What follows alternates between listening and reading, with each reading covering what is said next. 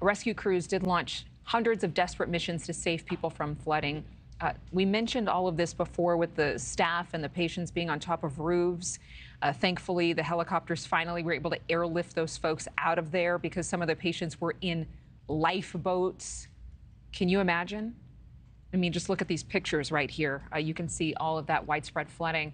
Uh, now we know that the storm is expected to still have impacts over Tennessee and Kentucky, which could see an additional four inches of rain before the weekend's done. NewsNation's Mills Hayes is in Valdosta, Georgia, with more. Mills?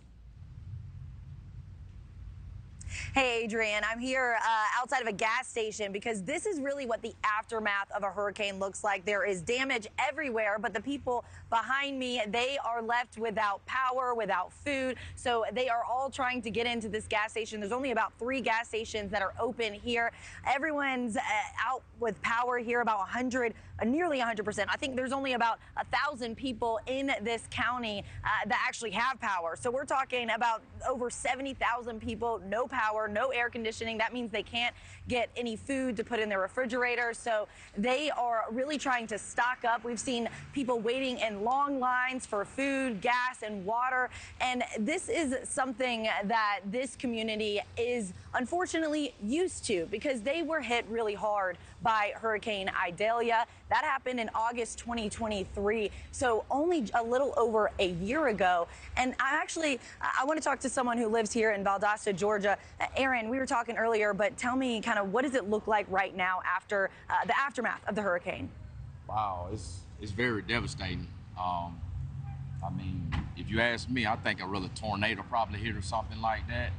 But um, just riding through the city, it's, it's pretty bad. Right. It's, it's been very bad. Now, uh, we were talking to about getting gas, food. You didn't. You thankfully didn't have to wait too too long, about 10 minutes, right? Yes. Um, what have you seen as far as like uh, uh, restaurants? Are things closed? What does it look like here? Um, same thing, pretty much bad. Everything pretty much down. Um, they got a lot of food trucks and everything kicking up.